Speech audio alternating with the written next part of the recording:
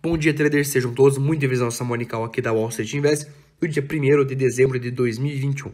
Hoje, os mercados internacionais estão em uma alta elevada, principalmente devido ontem à queda muito forte que nós tivemos nos mercados e que algumas declarações de alguns chefes e diretores de empresas de vacinas, como a Pfizer, falaram que a Omicron pode ser protegida com a vacina da Pfizer os casos mais graves. Nesse momento, o índice pequeno sobe 1,14% e o índice Dow Jones sobe 0,80%. Já o índice A50 da China fecha em alta de 0,28%.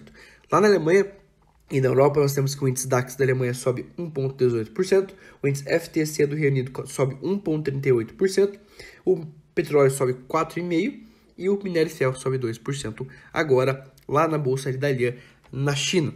Nós temos também que hoje né? É, ontem foi divulgado alguns resultados das piores e melhores empresas dos, é, do mês de novembro, as ações aqui no Brasil.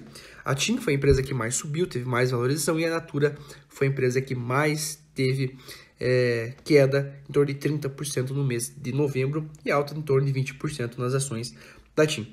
Ontem também o presidente do Banco Central americano, Jerome Powell, que, é, que falou que até a inflação não é transitória, ou seja, uma inflação constante, e vai ter que parar de ingerir dinheiro no mercado. Consequentemente, os mercados fecharam em grande queda ontem, no dia de ontem, principalmente lá nos Estados Unidos, aproximadamente em torno de meio-dia foi a notícia.